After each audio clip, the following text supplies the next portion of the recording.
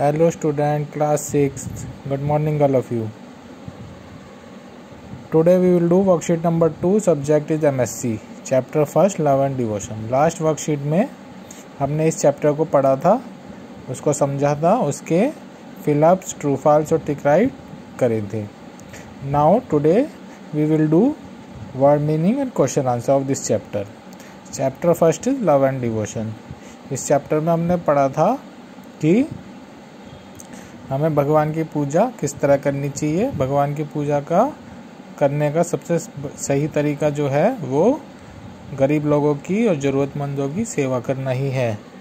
और भगवान को हमें ग्रेटफुल होना चाहिए थैंकफुल होना चाहिए कि उसने सभी चीज़ें बनाई है और भगवान हर जगह मौजूद है। So let's we start today worksheet first is word meaning first word meaning is deeds. Deeds का मतलब होता है वर्क, काम। Second omnipresent omnipresent is present everywhere हर जगह मौजूद। कौन है हर जगह मौजूद? गॉड भगवान। Third is abode abode is place of living जहाँ पर रहने योग्य जगह हो। फोर्थ इज़ ग्लोरी ग्लोरी का मतलब ऑनर सम्मान। ग्रेटिट्यूड ग्रेटिट्यूड का मतलब थैंकफुलनेस धन्यवाद। एस्टाउंड एस्टाउंडेड एस्टाउंडेड का मतलब सरप्राइज़ शो करना। तो यह वर्ड मीनिंग आपको अपनी नोटबुक में करने हैं। Now question answer question first what has God blessed us with and forward भगवान ने हमको किस से ब्लेस किया है? क्या चीज़ हमें उपहार में या आशीर्वाद के रूप में दी है?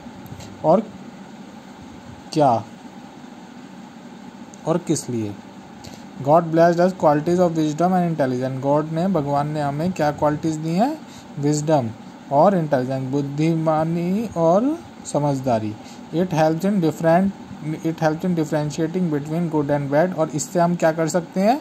इससे हम अच्छे और बुरे में, सही और गलत में और धर्म और अधर्म में डिफ्रेंशिएट यानी कि अंतर कर सकते हैं।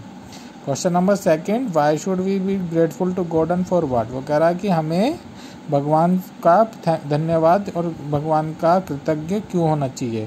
तो we should be grateful to God because all living things are created and loved by God क्योंकि ये जितनी भी लिविंग थिंग है सजीव वस्तुएँ हैं, वो भगवान के द्वारा बनाई गई है भगवान के द्वारा ही उनको प्राप्त, प्यार जो है, प्रेम जो है, वो भगवान के द्वारा ही प्राप्त है। Question number third what is the moral of story इस कहानी से हमको क्या शिक्षा मिलती है? The moral of the story is real worship of God is to serve mankind जो इस कहानी से हमें शिक्षा मिलती है कि भगवान की असली पूजा मानवता की सेवा करना है। Question number fourth how can you worship God तुम भगवान की पूजा किस प्रकार कर सकते हो? The real worship of God is to serve serve his creation असली पूजा भगवान की क्या है? जो उसके द्वारा बनाया गया उनकी सेवा करना।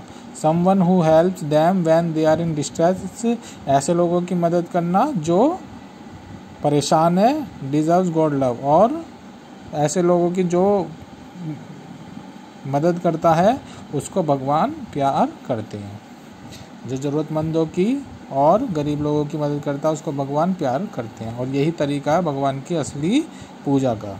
In what way can we express our gratitude towards God हम अपना धन्यवाद भगवान को किस तरह कर सकते हैं, किस तरह एक्सप्रेस कर सकते हैं।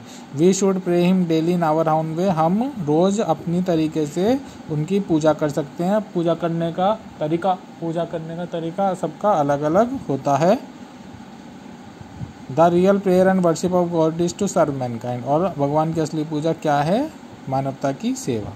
What do you understand by virtual reality virtual reality से आप क्या समझते हैं? It is believe that life on earth is an illusion ये हम समझते हैं कि जो जो पृथ्वी पे जो जीवन है, वो क्या है? एक धोखा है। इसलिए जो लाइफ को एक वर्चुअल रियलिटी कहा गया है। जो हमारा जीवन है, वो एक तरह से धोखे के समान है। और इसलिए इसको वर्चुअल रियलिटी कहा गया है। What did Maharishi Ved want to teach his student Maharishi Ved अपने शिष्यों को क्या सिखाना चाहते थे? Maharishi Ved wanted to teach his student that best form of worship to God is to serve the sick the poor and the blind वो चाहते थे कि उनके शिष्य ये समझें कि भगवान की असली पूजा क्या है। ऐसे लोगों की मदद करना जो बीमार हैं, जो गरीब हैं और जो अंधे हैं। तो ये आपको अपनी नोटबुक में क्वेश्चन आंसर वर्ड मैंने आपको अपनी नोटबुक में करने हैं पीडीएफ में आपको दे दिए जाएँगे। Thank you have a nice day